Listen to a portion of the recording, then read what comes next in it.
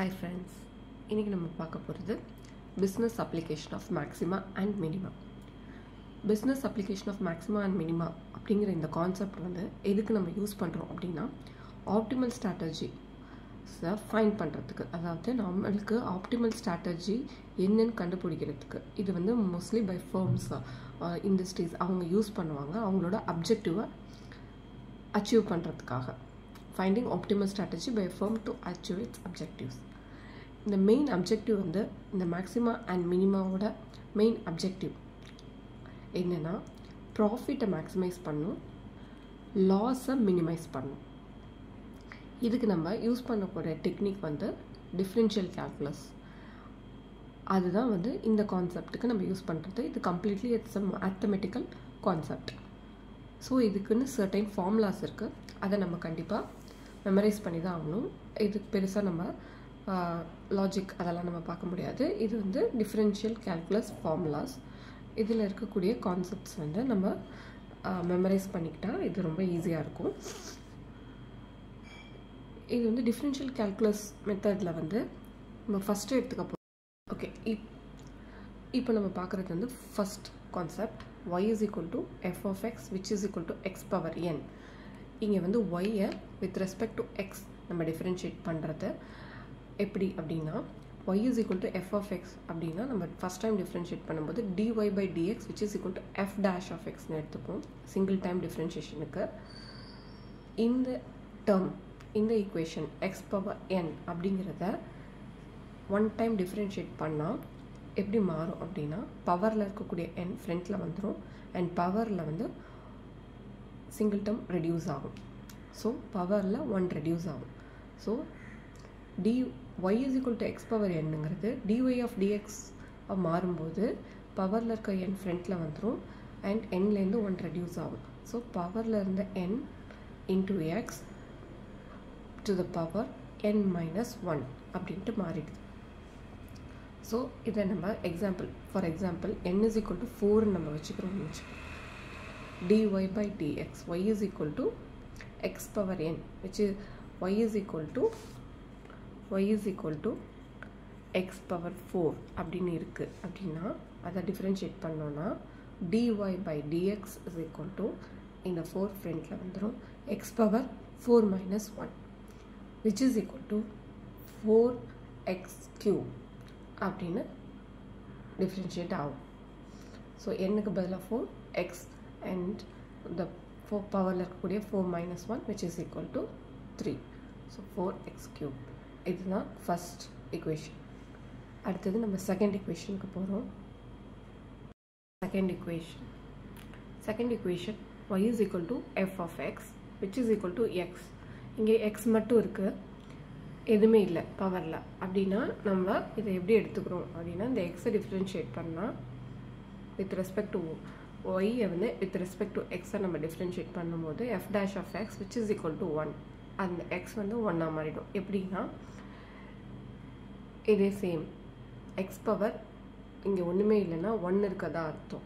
So அந்த one ஃப்ரண்ட்டில் வந்துடுது x power one minus one which is equal to one x power zero x anything power zero is equal to one so one into one which is equal to one இப்படி மாறிடும். ஸோ dy of dx is equal to 1 y is equal to f of x which is equal to x அப்படின்னா y is equal to xங்கிற term வந்து dy by dx y is equal to xங்கிறது dy by dx ஆகும்போது f dash of x which is equal to 1 அப்படின்னு மாறிடும் this is second equation third one y is equal to f of x which is equal to any constant k is a constant any ஏதோ ஒரு constant இருக்கு constant நம்ம differentiate பண்ணா அது ஜீரோவா மாறிடும் so dy by dx f dash of x is equal to 0 and fourth equation y is equal to f of x which is equal to e power x exponential of x அப்படிங்கிற டேர்மை நம்ம differentiate பண்ணுறதுக்கு dy by dx is equal to e power x is equal to f dash of x exponential of எக்ஸை நம்ம differentiate பண்ணால் same exponential of x தான் கிடைக்கும் so anything exponential power x அப்படின்னு நம்மளுக்கு கொடுத்துட்டாங்கன்னா சேம் டிஃப்ரென்ஷியேட் பண்ணாலும் சேம் தான் வரும் y is equal to and next equation is fifth.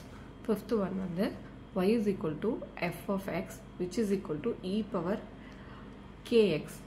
K is constant. நம்ம கே டிஃப்ரென்ஷியேட் பண்ணுறோம் எனி கான்ஸ்டன்ட்டை நம்ம differentiate பண்ணுறோம் அப்படின்னா dy by dx. நம்ம வந்து ஒன்லி கான்ஸ்டன்ட் மட்டும் இருந்தால் நம்ம ப தேர்ட் எக்குவேஷன்ஸில் பார்த்தது ஒன்லி கான்ஸ்டன்ட் மட்டும் இருந்தால் கேஸ் கான்ஸ்டன்ட் அது ஜீரோவாக மாறிடும். பட் கான்ஸ்டன்ட்டோட எக்ஸ்பொனென்ஷியலில் கான்ஸ்டன்ட் வந்திருந்தா அது எப்படி மாறும்? அப்படிங்கிறது தான் fifth equation exponential of kx அப்படின்னு இருக்கும்போது இந்த கே வந்து கான்ஸ்டன்ட் வந்து ஃப்ரண்ட்டில் வந்துடும் இ e பவர் எக்ஸ்ன்னு மாறிடும். கான்ஸ்டன்ட் வந்து ஒன்றா மாறிடும்.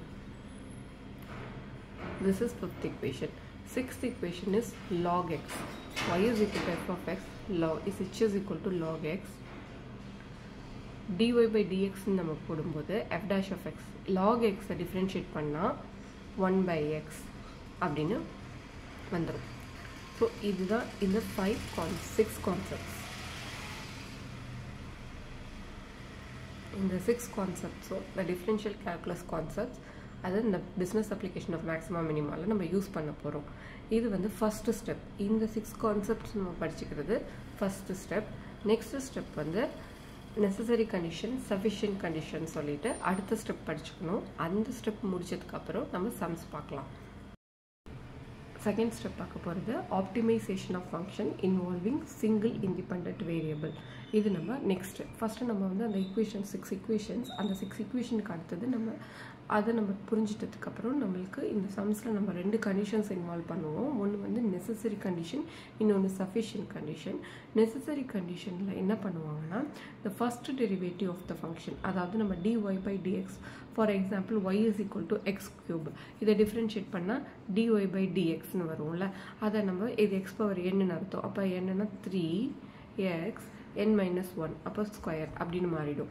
இதை வந்துட்டு நம்ம என்ன பண்ணணும்னா நெசசரி கண்டிஷனில் dy by dx is equal to zero அப்போது அது எப்படி மாறும்னா டிஒய் பை டிஎக்ஸ் நம்ம கண்டுபிடிச்சது three x square which is equal to zero அப்படின்னு நம்ம கொண்டு வந்து ஈக்குவேட் பண்ணுறது first derivative of the function first derivative எது? இந்த ஃபங்க்ஷனுக்கு first derivative dy by dx அது should be equal to zero அப்படிங்கிறது தான் நெசசரி கண்டிஷன்ஸ் நம்ம இந்த கண்டுபிடிச்சதை ஜீரோவோட ஈக்குவேட் பண்ணுறது தான் நெசசரி கண்டிஷன் அடுத்த ஸ்டெப் வந்து சஃபிஷியன்ட் கண்டிஷன் ஸ்டெப் டூவில் வந்து sufficient condition find the second derivative இதை செகண்ட் டைம் நம்ம வந்து டிஃப்ரென்ஷியேட் பண்ணுறது பண்ணும்போது டி ஸ்கொயர் ஒய் பைன்னு சொல்லுவோம். ஒரு டைம் டிஃப்ரென்ஷியேட் பண்ணால் dy by dx second time differentiate பண்ணால் d square y by dx square அப்படின்னு பண்ணோம். அப்போது second derivative of the function அதோட வேல்யூ வந்து ஆஃப் எக்ஸ் வந்து computed in step one step ஒனில் நம்ம கம்ப்யூட் பண்ண அந்த வேல்யூஸ் வந்து செகண்ட் டைம் நம்ம டிஃப்ரென்ஷியேட் பண்ணோம். அப்படி செகண்ட் டைம் டிஃப்ரென்ஷியேட் பண்ணும்போது நெகட்டிவாக வந்தால் மேக்ஸிமம் ஞாபகம் ஞாபகம் நெகட்டிவ்னா மேக்ஸிமம் பாசிட்டிவ்னா மினிமா செகண்ட் டைம் டிஃப்ரென்ஷியேட் பண்ணும்போது அது நெகட்டிவாக வந்தால் மேக்ஸிமா பாசிட்டிவாக வந்தால் மினிமா அடுத்தது அதே சப்போஸ் ஈக்குவல் டு ஜீரோவே வந்துடுச்சு. செகண்ட் டைம் டிஃப்ரென்ஷியேட் பண்ணால் அப்படின்னா அது நே மேக்ஸிமமும் கிடையாது மினிமாவும் கிடையாது. There is there exists um neither a maximum nor a minima so இதை வந்து பாயிண்ட் ஆஃப் இன்ஃப்ளெக்ஷன்னு சொல்லுவாங்க.